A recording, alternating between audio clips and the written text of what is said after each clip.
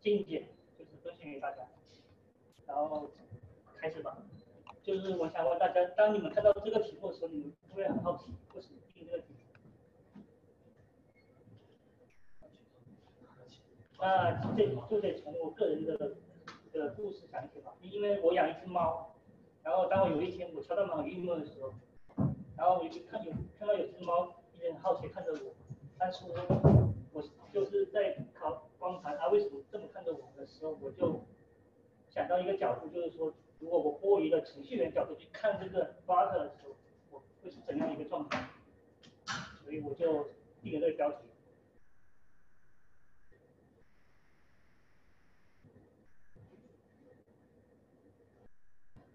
既然是怎么说呢？就是说我从一个人的角度上去分析这个事情。Flutter，Who are you？Who you are？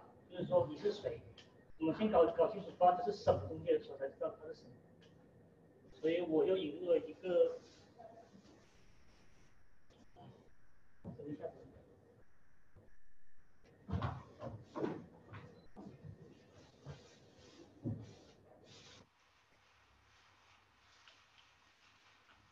我就为向谷歌资金引用它一句原话：，Flutter 是一款移动力移动应用程序 SDK，包含框架、Editor 和工具，为开发人员提供一。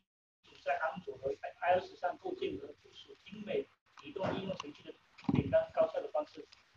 其实当我看到这句话的时候，我觉得它很长，它给我带来的信息量很大，所以我打算把这句话拆解一下。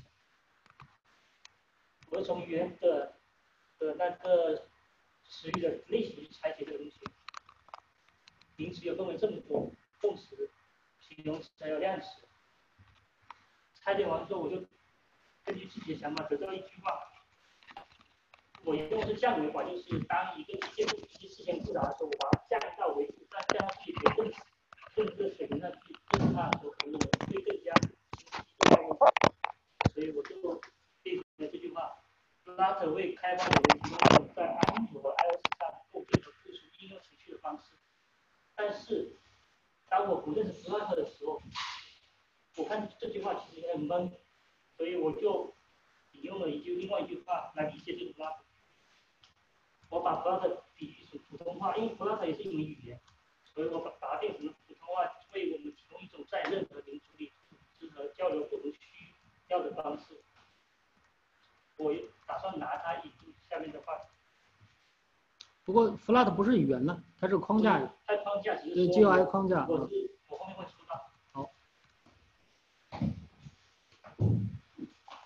普通话也叫现在标准汉语，它的文字书写系统是汉字，汉字的演变其实大家看都很清晰。我为什么要拿这个图？那是因为我想站在大家共就是有相同共识的情况下去认识它，因为大家会比较理解，所以我举这个图。刚才那那个刚才你说 Flutter 不是一门语言，它不是语言植入，它的基基础是大的，所以我只是拿普通话来。哦对，OK。然后，就现在就说到了基本语，它的语言是大的，然后我就举了计算机程序员的演变历史。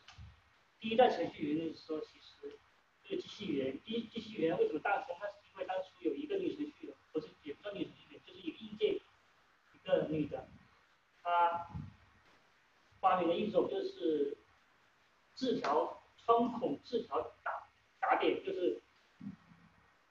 呃，要么就打，要么就不打，其实映射于零和一二进制，二进制的语言的到来就是这么到来的第一代语言。然后机器语言还包括汇编，汇编题大家都很清楚，但是很现在很少人会去在汇编上面做一些功功夫，因为它实在还是比较难懂。因为为什么出现汇编语言？那是因为汇编语言是为了解释。当一个机器它，因为因为一个机器机器它只认识零和一的时候，我们怎么去，我们人类怎么去认识它？所以汇编语言就变成一个相当于一个把零和一的不同排列组合，然后变成一个我们认知的一个事物。比如就是说，在指令集里面有零零零，代表是，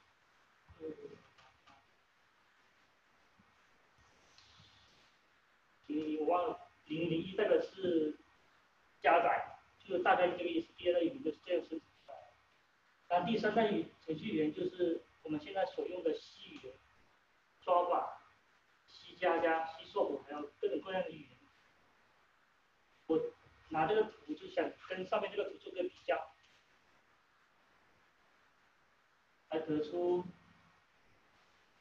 这是一个结论，就是说，其实汉字的演化是不对的简化优美，但语言也是一样的，语言也是更加贴近我们生活，变得更加让我们可以去理解。其实我们学一门语言，其实更更重要的目的是理解它而使用它。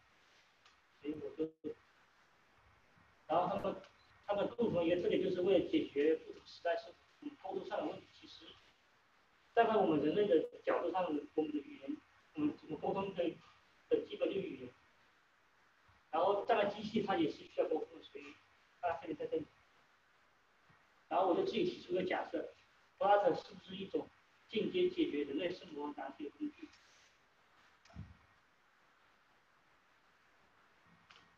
然后就回到了当之前第一个问题说问你是谁的时候，我就会就会问问就是你来自哪里？就是我一个第就是一个问题。然后来自哪里的时候，它第一，它它是语言，语言化它有语法。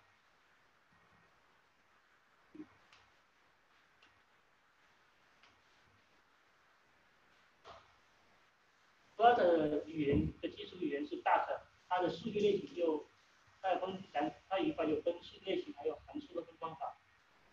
然后数据类型其实对于程序来说，那么的词是句子，或者是历史。大家都知道什么意思？那对于一个些不懂的语言来说，我接下来就用一个这样的例子来说明。其实数据它有类型，语言也词语也是有类型。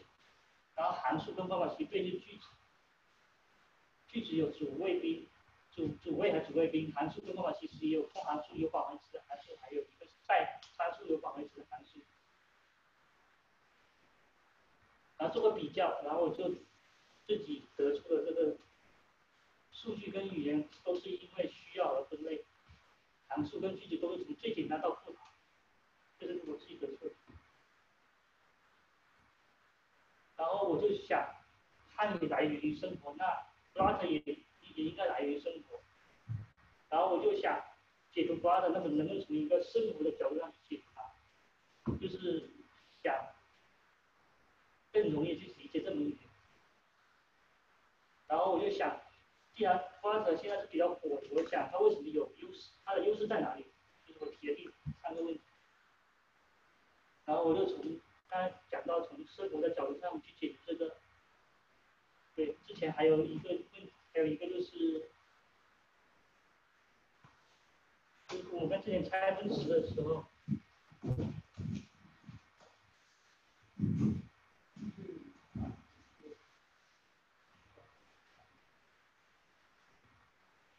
我刚才拆分时候时候没有用到形容词，形容什么叫形容词？就是说，形容它的优势、它的特点，所以我现在要从形容词这三个点去讲它的优势。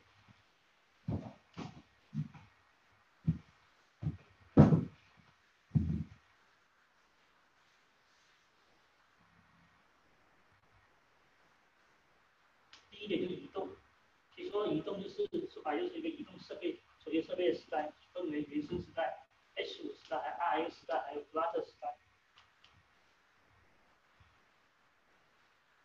原生时代，针对于我作为安卓来说，我用比较多的。然后原生时代的它的优势是什么？优势是它可以保证性能，但是它也有同样有一个缺点，就是说，当我要完成一个功能在安卓 iOS 上同时。开发的时候需要两个开发的一个成本，所以它，所以才才出现了第一个语第一个时代 S 五时代，但 S 五时代持续时间比较短，那出现了 I S 时代，I S 时代就是它它主要是，我我我现在从程序员角度去解读这东西，它主要是一个，嗯，主要是一个。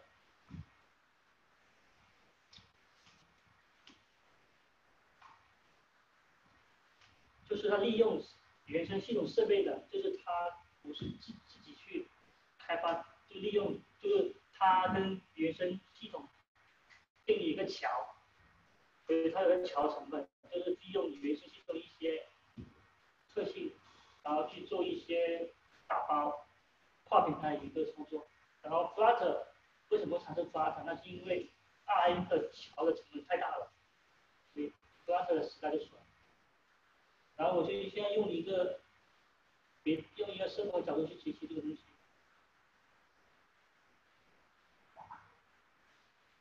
就很简单一个例子，就是婴儿婴一个婴儿学会说话过程，一般一到四岁的时候，他会喊妈妈，还有会说我要吃饭等比较简单一些词。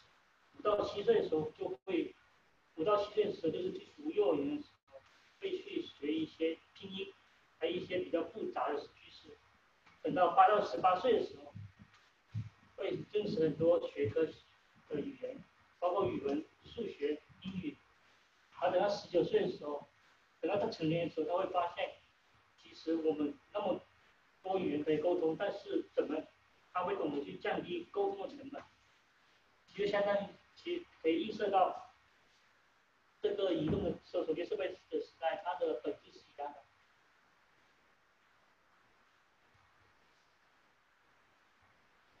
所以我得出个结论，就是移动时代跟一个婴儿的成长其实是息息相关的。然后讲第二个特点，它精美，为什么精美？其实它精美，有一句话说的特别好，设计不再对时间妥协。其实这句话对于一个设计师来说，他是比较深切的去体验到的，因为每次设计要拿着稿子去找实现的时候，总是遇到一些情况，一些坑，一些都这做不了，那也做不了，所以 Flutter 他做到这一点就可以解决这个问题。然后 Flutter 本身自带了两个风格，一个安卓的。安卓的 design，还有一个 Cupertino 的一个风格，iOS 的风格。然后这是从 Flutter 的官网，它总结了两个优势，两总结的精美的一个一个它的两个特性，但是我想用生活的方式去解决它，因为精美可以对应一个作家，其实作家他。有一支笔就可以随便的写东西，就相当于 Flutter 允许你在控制屏上每一寸像素，然后后面那两个高频就相当于，相当于这个散文跟诗歌，因为散文跟诗歌都是经过提炼后的的一个，对，经过体验的一个一个精髓。然后我就从这两个比较得出了，当你有足够的空间去施展自己的想法的时候，其实精美精就顺起来了，对了。然后说一下，现在说第三点，高效。你高效这高效这个问题对我们开发来说是特别重视的，因为我们开发任何一个语言，我们都希望它可以快速的去。编译或快速的去打包，所以 Flutter 的特殊这两个特性是这样子。然后这个我的理解就想用一个生活角度上去解释它，就讲一个产品经理的一个例子吧。因为因为每个产品经理像一个开发提每个需求的时候都希望很快落地，然后很快落地，它有两个特点，一个就是它需求希望被开发敏捷被反馈，就相当于对应。Flutter 的一个获得遗漏热重载，然后并允许一套 Code Base 运行多端，就相当于也希望开发有一套公共组件适多端。然后产品需要功能条件可以动态配置和发布，应用程序可以省略，就相当于对应一个 JID 编译，JID 编译的含义就是计时编译。然后 AOC 的编译其实就是在运行前静态数据，数就相当于，大概就就这个意思，我觉。然后通过他们比较，我得知了，其实所谓高效就是也就是踩完坑后我们的领悟得到我们生活在那里后，然后在程序上面得以体现。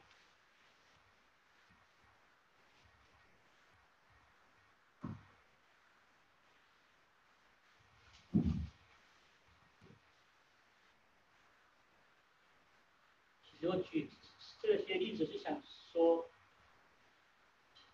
想说就是说，当你不懂得这门语言的时候，你可以从我们生活到角度上去解读它。就相当于今天有人提个问题，怎么去读语法的概念，其本质是一样的。因为生活，我们是人，会我们就是我们更多的精力是在于我们生活。当我们体验生活的感悟的时候，其实在代码上也是可以相应的对应下来。然后我现在。去了，我现在提第四个问题就是说，既然我知道你是来自哪里，或你是谁，你来自哪里，然后你有优势，但是你是不是我的伙伴呢？我提了一个。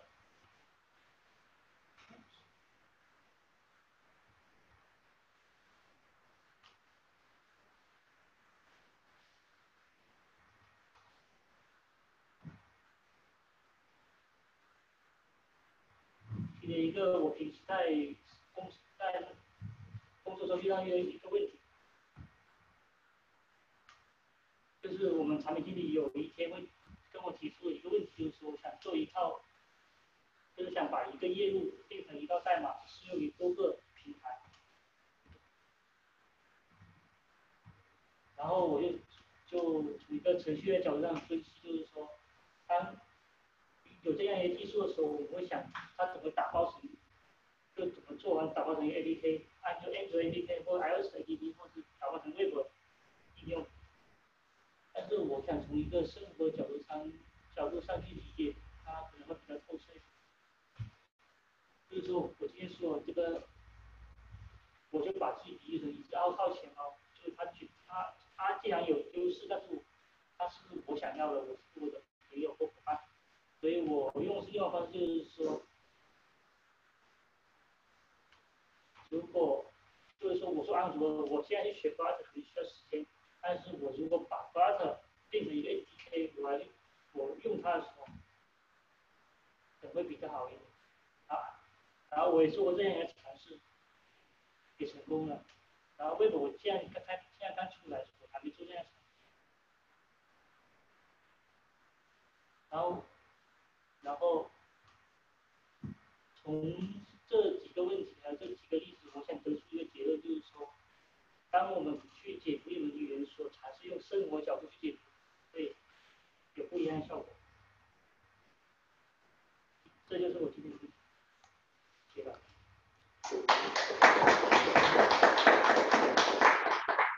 OK，这个比较短啊，呃，很快，十六分钟。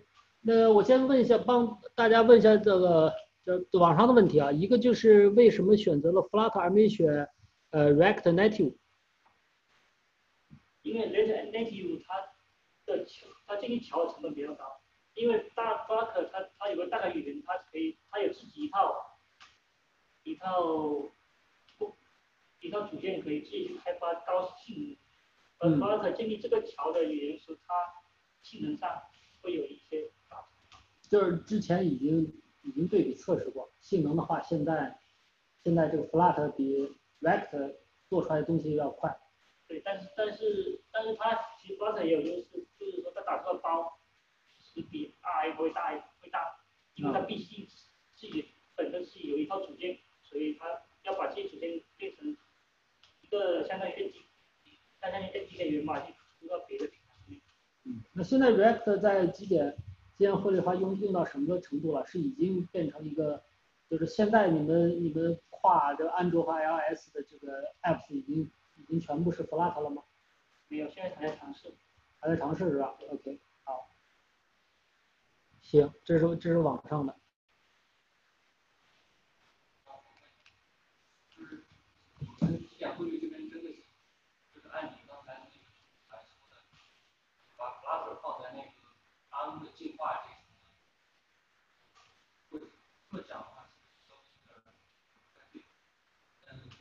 嗯，就这个咱们用。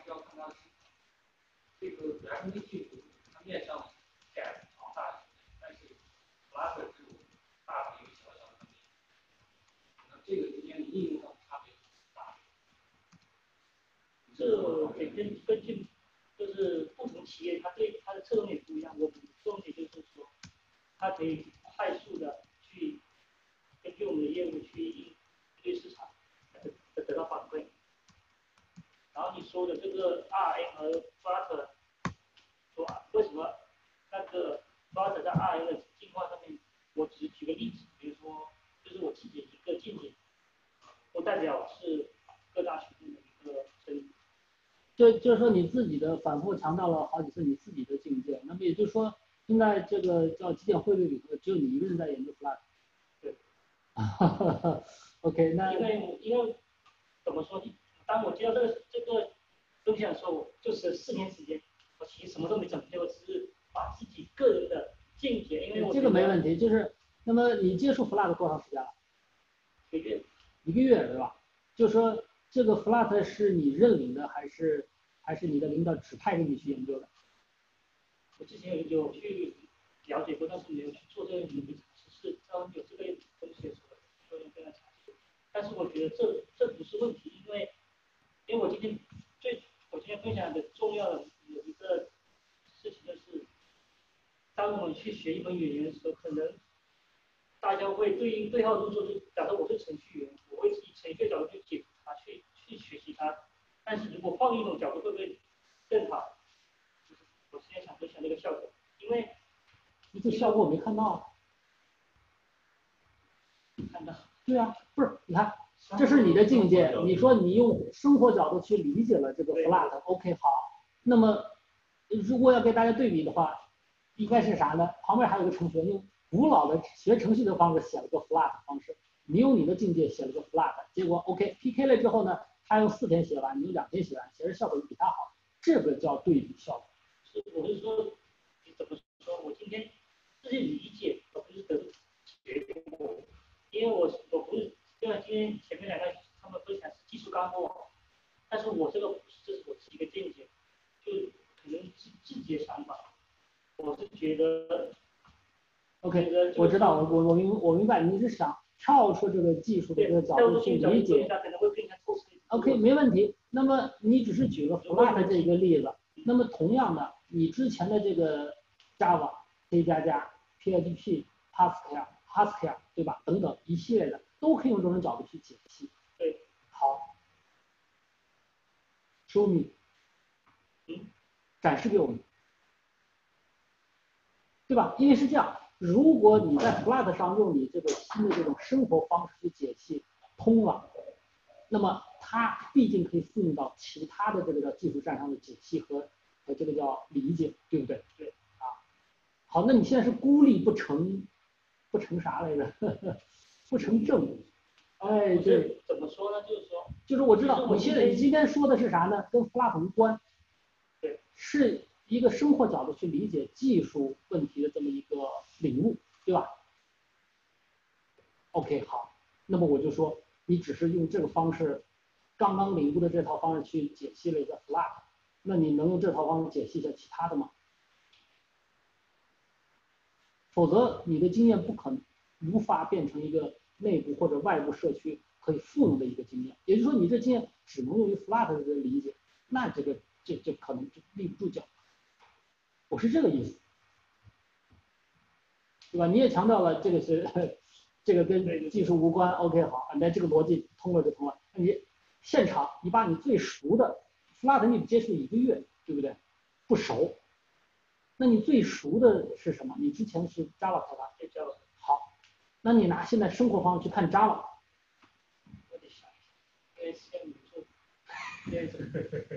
以前天主播问问题是 好好不用回答了，不用回答了。这个这个是啥呢？这个实际上是现场回答问题的时候的一种叫啥？通用的叫叫通用的叫什么来着？刁难的方法，就是我拿你的逻辑来去要求你去干另外一些其他的事情，这个实际上。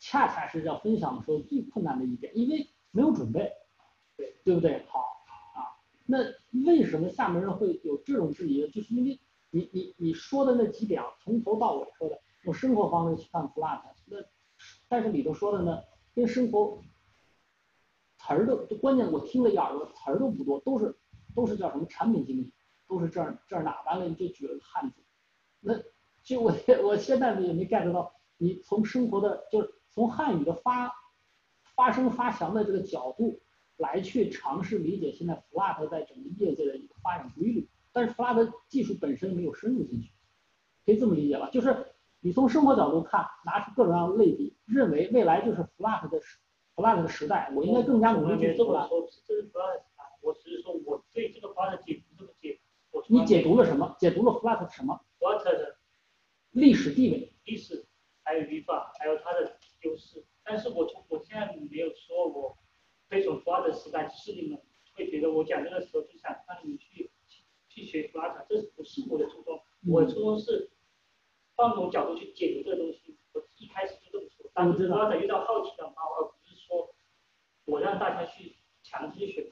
我觉得这一个概念是可能。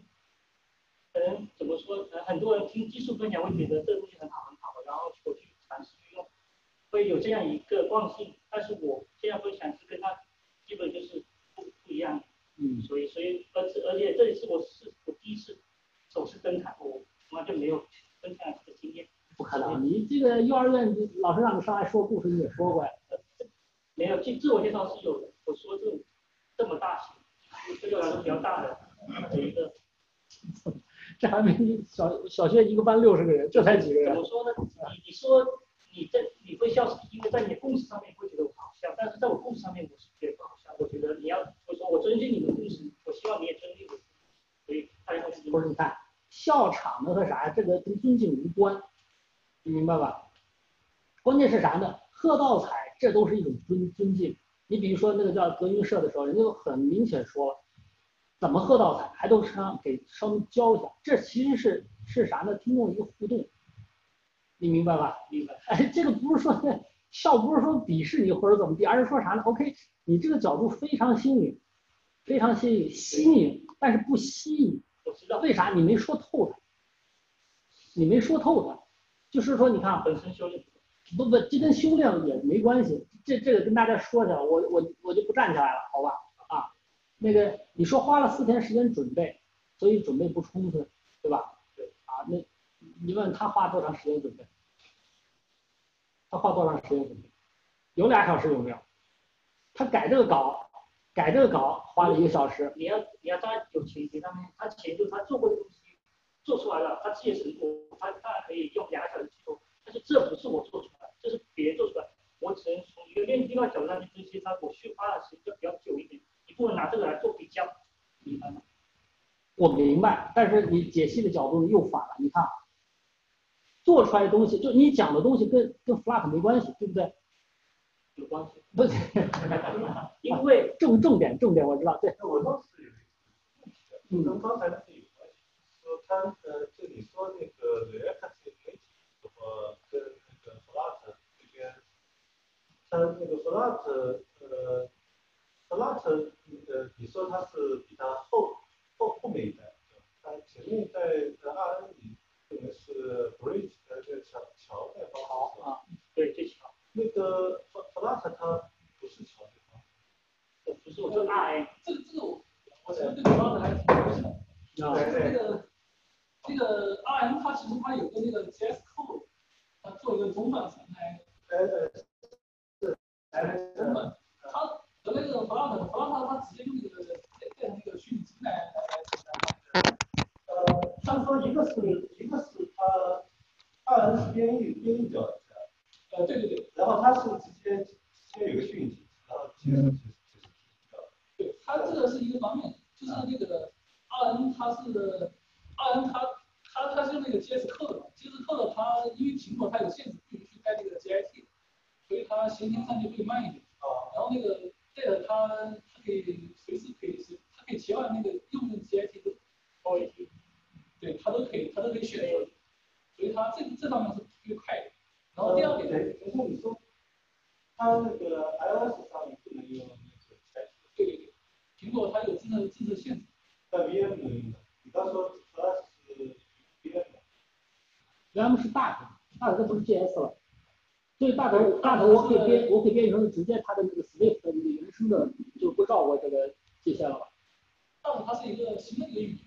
不，我知道，Dart 是给 Flat 用的一个叫语言界面对，但是 Flat 在 iOS 上走的就是 Swift，啊这样就是就是啥呢？就是在在那个 Reactive 里头呢，你要去干的这个事情呢，是 Reactive 帮你干，就是说你 JS 写完东西呢，对应的在这个平台上，在那个平台上，它编译成对应的东西是动态编译的，啊，动态编译的，所中间呢，它能够支持的不多，所以很多时候呢，像像什么 Facebook 啥的，人家不得不为为专门的平台专门在用 CGI，专门开发不同的东西，就是他所说的桥边。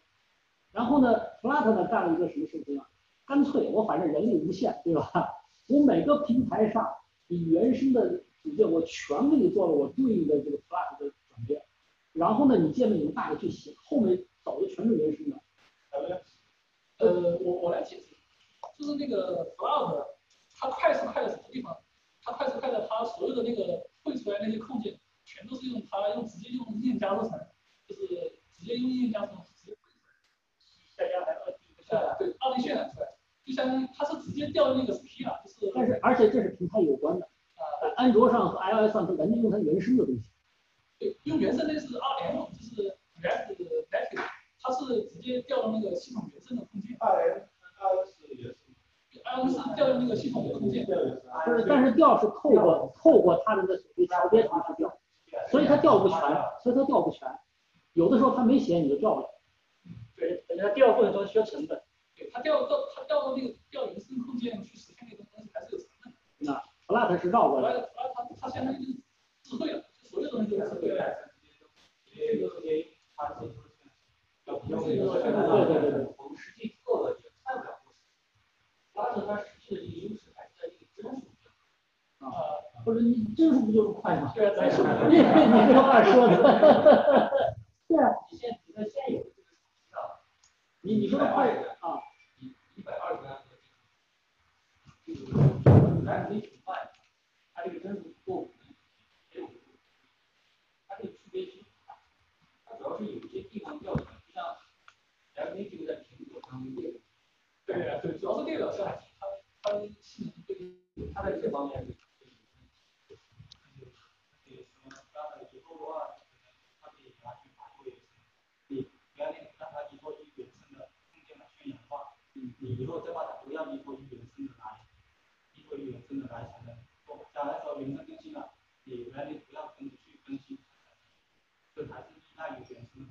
但是 Flutter 的话，它就完全是自己做那种渲染是最好，但它就原来对对对对对。这这说穿了，Flat 它跟以往这个呃以往所有这个控件这个绘制的思路都不一样，他拿做这个叫游戏的方式去给你搞，他自己独独创了一套这个游戏的这种刷屏方式去走。其实我那会儿为为啥问他，就是觉得就是把这个东西列在这个里面，呃，之所以问他这个问题，是因为我觉得这个 Flutter 它根本不是为安卓的 iOS，对，他他就是做游戏，为做游戏嘛。为了它的追求呗。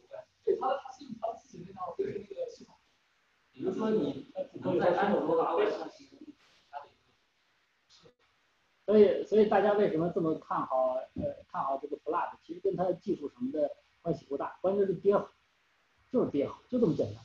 你 Reactive 也没大涨，它就自己。那 Flat 一上来，我这全国安卓支持的最好，你你就光这一点就足以让你投入一些。关键还是啥呢？Flat 紧接着紧接着它响应那个用户号召，说我马上会支持桌面端，完了，那这一下子你你们 Electric 都比不上它，对吧？所以所以你现在其实 Mini Blink 现在最好的时机啥呢？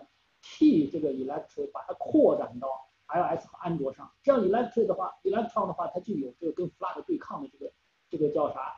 这个这个底气了，因为它在桌面上它的用户用户群比我这个叫 Flat 要多很多，因为 Flat 现在还没有成功的这个桌面应用，但是 Electron 已经很多了，所以这这这是这是一个这是一个历史节点，你跟上的话，你跟 Flat 都起来了，否则 Flat 呃不是你跟 Electron 得起来，否则 Flat 就一把把你全踢掉了。它的生态小，我告诉你，就是下一个就是弗拉特旁的不说，弗拉特旁不说，所有平板和那个和这个叫笔记本市场，它这是占有率是固定死。为啥？它那个 Chrome Chrome OS 起来之后，Flat 自然而然就直接进去。然后呢，它的那个手表、平板，那个它的那个 Chrome 的 Box，这这多少这容量？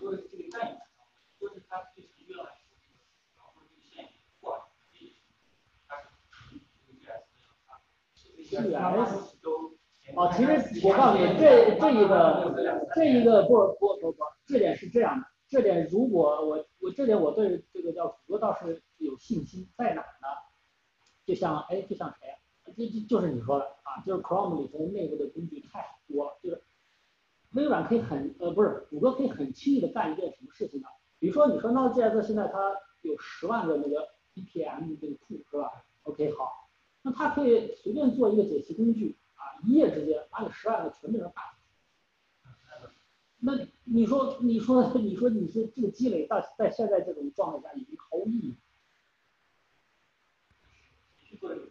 不是这这工作，这工作谷歌人家早就早就有积累，都坚持的。唐总不说，还有我们过来车上说的那个 WASM，更是一样。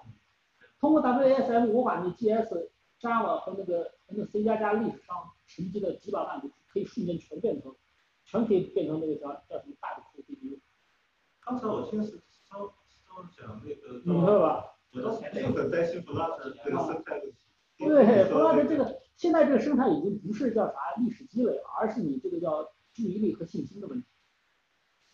其实这一点我我不太同意朱总说的这个话。不是你叫我大妈就是怎么了？呃，我这个我我有思考过这个问题，就是因为和 Flutter 其实架构还挺挺挺相似的，因为我我其实也参考过它的架构，它的那个整体架构和 Mini to Link 很相似。嗯。然后我我想的问题是什么？是未来到底是 Flutter 这种就是全部用原生的方式加他自己定义一套这个描描述语言来来实现，还是像还是直接用 Web 的这种呃直接用 Web 这些呃这这套这套框架或者这套社区的那个那个东西来实现，啊会更有优势一些。嗯我的想法是，巴特它现在最大的优势其实就是一个是它跨平台，第二个是它它的性能会比 Web 方面来好。也就是说，如果你用 Web 来开发开发这些东西的话，呃，最大问题就是现在的性能性能不够。比如说你搞一个那个长的那个那个长的列表，然后滑动它明显会有卡慢的那个效果。只是 Flat 它主要是会解决这个问题。但是我觉得如果以后未来手机的性能不能跟上的话，然后再加上未来你不管你是用原生的，呃，其实 Flutter 我把它归到原生类嘛，就是原生类它的它的社区或者它的那个周边的资源再多，但是你总会有需要用到 Web 的时候，比如说要嵌入一些地图空间啊，或者是一些呃一些东西，它会继续还是要用 Web View，就是用 Web 的这套东西。然后这个时候，如果如果两边的性能都差不多的话，我我就想大大部分开发肯定会想，那就干脆用一套东西把所有的开发全部解决了，把一套所有问题都解决，这样会比较好。所以所以谷歌也很明显，它是两个人下注，啊，对对不对？一个它出了一个 Chrome OS，Chrome OS 的话是直接是把这个叫平板啊，还有这个这个叫什么来着？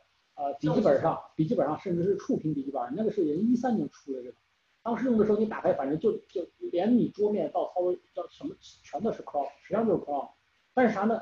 所有功能都有了，交互性能也 OK，但只不过对中国来说，你少个输入法，这玩意儿没没办法把它当成一个正常的用，但欧美都已经 OK 了。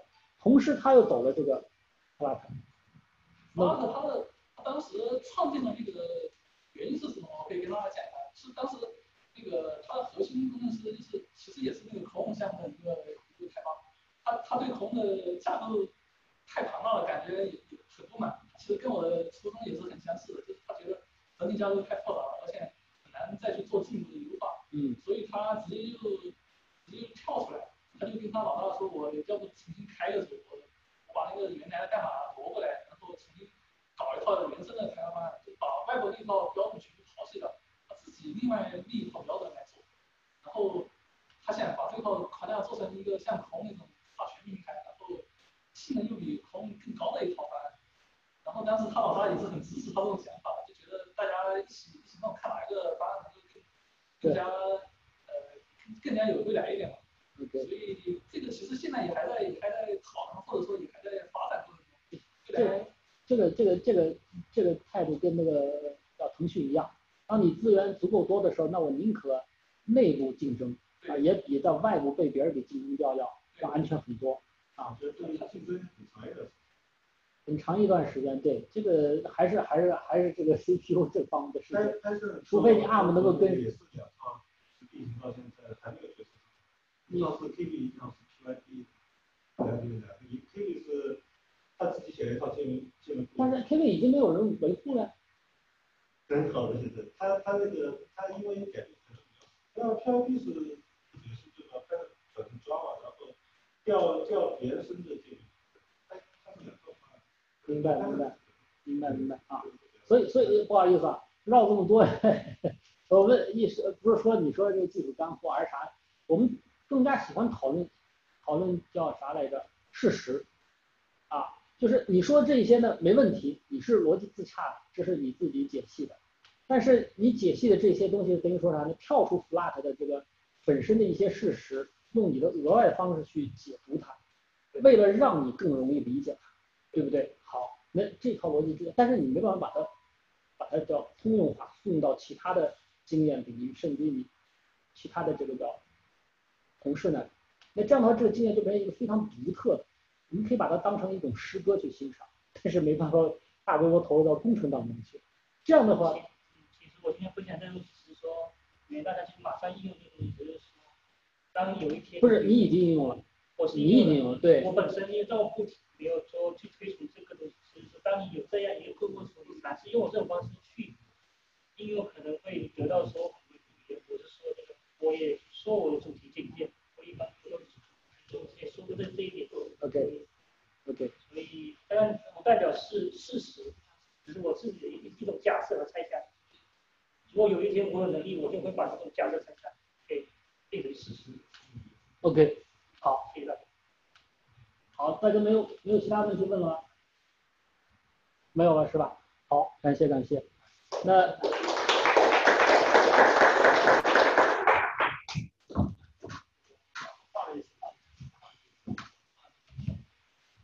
好，那个我们呃我我我我再最后录录一个。